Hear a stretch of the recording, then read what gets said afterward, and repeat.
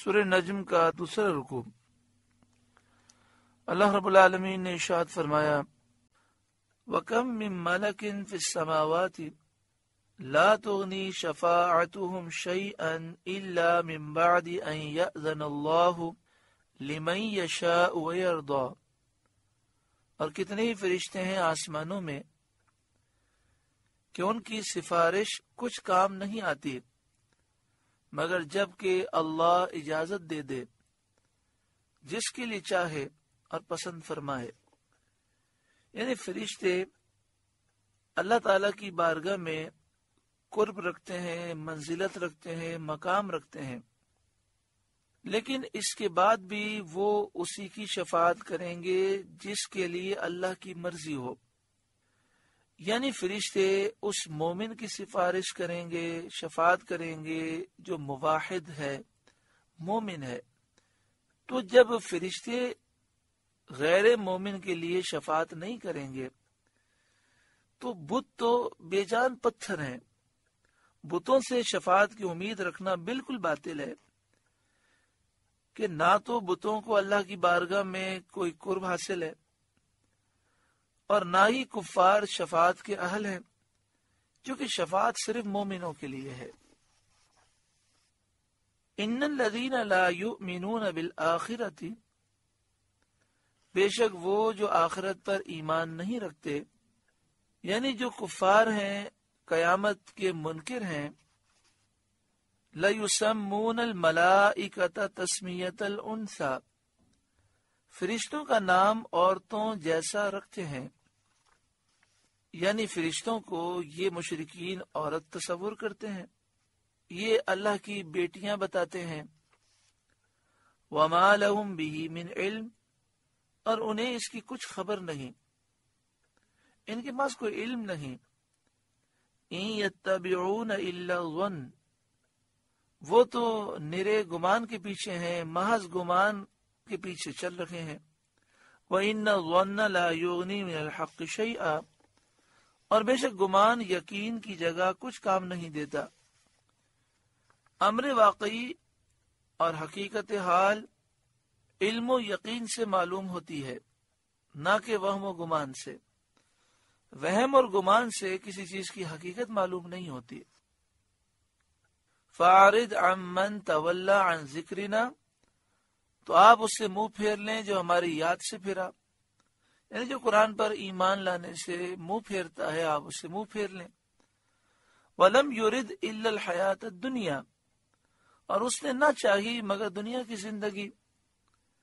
आखरत पर ईमान न लाया।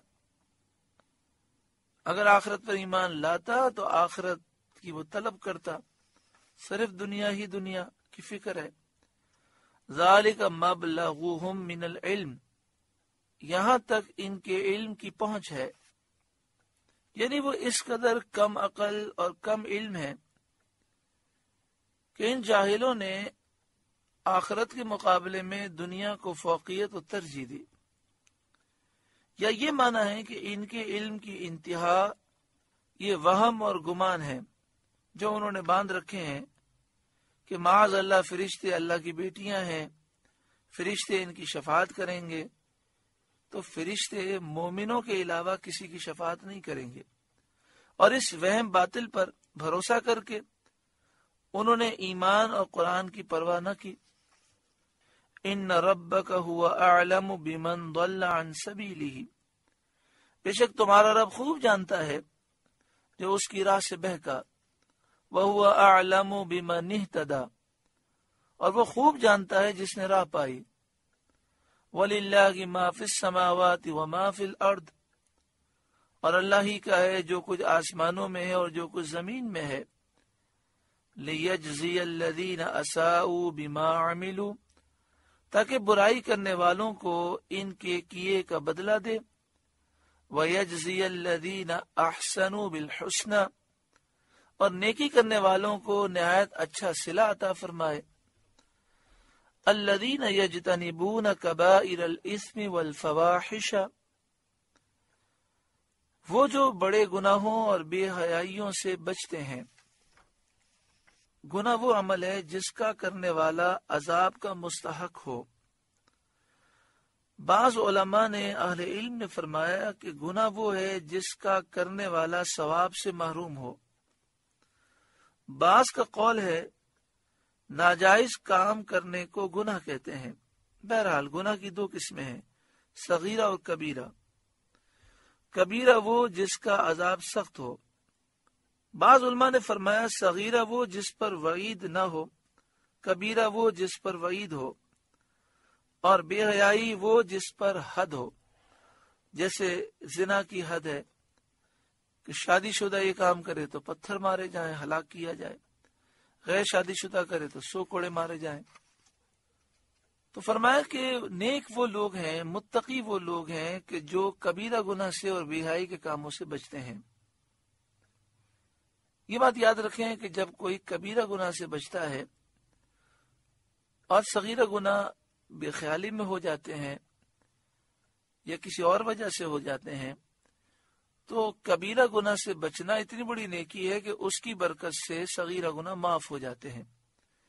मगर किसी गुनाह को छोटा समझकर, हकीर समझकर करना, ये गुनाह को कबीरा बना देता है।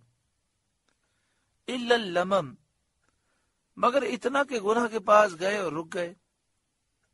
ये अल्लाह के नेक बंदे हैं, गुनाह से बचते हैं। हाँ इतना होता है कभी गुनाह के करीब हो जाते हैं, लेकिन फ़ौरन रुक जाते हैं, होश आ जाता है। तो अगर इतनी गलती हुई है तो चूँकि ये कबीरा गुनाहों से बचे हैं, इसकी बरकत से वो माफ़ हो जाएगी गलती। इन रब मगफिरा, बेशक तुम्हारे रब की मगफिरत वसी है। हुआ आलम बिकुम, वो तुम्हें खूब जानता है। ये आयत उन लोगों के हक में नाजिल हुई जो नेकियाँ करते थे और अपने अमलों की तारीफ़ करते थे। और कहते थे, हमारी नमाजें, हमारे रोज़े, हमारे हज, सबसे पहले तो आप मेरे लिए दुआ करें, अल्लाह ताला मुझे बड़े बोल से बचाए। अल्लाह ताला आपको बड़े बोल से बचाए, हर मुसलमान को बड़े बोल से बचाए। अगर हम कोई नेकी करते हैं या कोई हम में कमाल है तो ये हमारा कुछ है ही नहीं। हम पानी का एक बेकदर कतरा है। उस पानी के कतरे को अल्लाह ने ज़िंदगी दी, सब अल्लाह ने दिया। वो जब चाहे ले ले। बड़े बड़े अकलमंद अचानक से पागल हो जाते हैं। तो इसमें किस बात पर इंसान फखर करे, गुरूर करे तकबर करे या अपनी तरफ़ नस्बत करे? वलहुल किबरिया समावात अर्थ आसमान और ज़मीन में बड़ाई सिर्फ़ अल्लाह के लिए है। दुआ करें अल्लाह ताला, मुझे भी, आपको भी, गुरूर तकबर से, ओजुब से, रियाकारी, दिखलावे से, हर जाहिरी, बातनी बीमारियों से, बुराइयों से ओयूब से हमेशा के लिए नजात अता फरमाए। हुआ आलम बिकुम, वो तुम्हें खूब जानता है। ईद अनशाकुम मिनल अर्दी, तुम्हें मट्टी से पैदा किया। जब उसने तुम्हें मट्टी से पैदा किया। वईद अन तुम अजिन्नतुन फ़ी बुतून उम्महातिकुम, और जब तुम अपनी माओ के पेट में हमल थे जब तुम पानी का कतरा थे, तब भी अल्लाह जानता है। फिर तुम्हारे सारे मराहल को अल्लाह जानता है। इस वक्त तुम मौजूद हो, वो भी अल्लाह जानता है। आगे क्या होगा, वो भी अल्लाह जानता है। अल्लाह का इल्म अजली अबदी, कदीम हमेशा से है, हमेशा रहेगा। फला तुजक्कू अनफुसकुम। तो तुम अपनी जानों को सुथरा ना बताओ। अपनी तारीफें ना करो। यानी फखर करने के लिए तफाखुरन अपनी नेकियों की तारीफ़ न करो। क्योंकि अल्लाह ताला अपने बंदों के हालात का खुद जानने वाला है। वो इनकी इब्तदा हस्ती से आखिर अयाम के जुमला अहवाल जानता है। वो तुम्हारी पैदाइश से लेकर मौत तक और उसके बाद क्या होगा सब जानता है। इस आयत में रिया, दिखलावा खुद नुमाई खुद सराई की ममानात फरमाई गई। रिया किसे कहते हैं? इंसान दिल में ये तमन्ना करे कि लोग मेरी वाह करें। मकसद ये हो कि मैं लोगों की निगाहों में अच्छा बन जाऊँ। तो जो अमल इसलिए हो कि लोग मुझे अच्छा समझें, मेरी वाह वाह करें, मेरी तारीफ़ करें, जो अमल लोगों को दिखाने के लिए हो, वो रियाकारी है। लेकिन इसका ये मतलब नहीं कि जो काम लोगों के सामने हो, वो रियाकारी है। अगर काम लोगों के सामने किया जा रहा है, लेकिन महज नीयत ये है कि अल्लाह देखे तो कोई हरज नहीं। हज़रत उस्मान गनी रदी अल्लाह तु ने मस्जिद नबी शरीफ में मुसलमानों के सामने साहबा कराम के सामने चंदा दिया।